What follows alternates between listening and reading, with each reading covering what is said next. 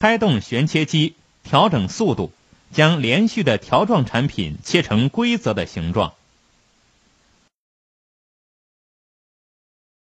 成型后的物料由风送机输送到烤箱内进行干燥，干燥时间和温度可调，根据工艺条件，干燥温度一般设定在一百六十摄氏度到一百八十摄氏度。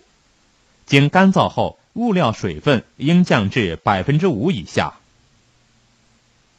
调味是在双级滚筒中进行，包括产品表面涂油和喷洒调味料。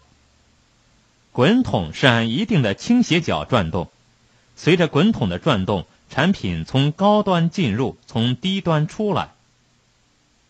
喷油是在产品进入一级滚筒时进行，按要求调节喷油量大小，通过翻滚搅拌，油均匀的涂在产品表面。产品通过二级滚筒时加调味料，继续混合，从滚筒出来。即为成品。为防止产品吸潮，产品应尽快包装。